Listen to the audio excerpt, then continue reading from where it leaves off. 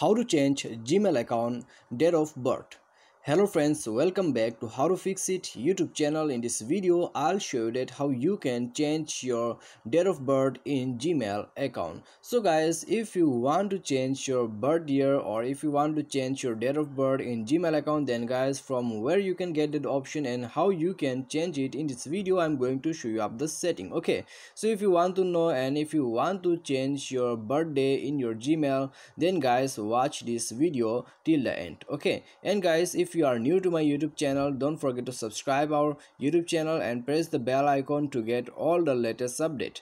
And now guys let's begin the video and guys let's start. Okay so firstly guys if you want to change your birthday in your gmail account and guys if you don't know then simply open up your gmail okay yes you can see this is your gmail and guys in the top here you will find out your gmail. So just tap on it and after that guys click on the google account. Okay as you can see here. So just tap on google account and then guys it will open up your profile. So now guys you have to tap here okay in the personal info as you can see here. So just uh, tap on the personal info and then guys here you will find the option to change birthday okay so if you want to change your uh, birthday or date of birth in your gmail account just uh, click here and then guys you have to uh, click on the edit sign and then guys you can easily change it. Okay so let's wait and guys let's change it. So as you can see uh, my birthday.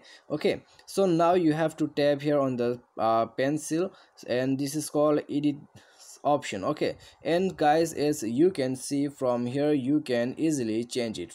So uh, from which month you want to change you can simply select it. And then guys you can select your birth year. Okay. Or uh, you can change your birth uh, month. Okay and you can change your birth date as well. So guys you can completely change it and simply tap on the update option and guys you can uh, change it. Okay so uh, i don't want to change it. So if you want to change then guys simply follow up the process and just click on the update.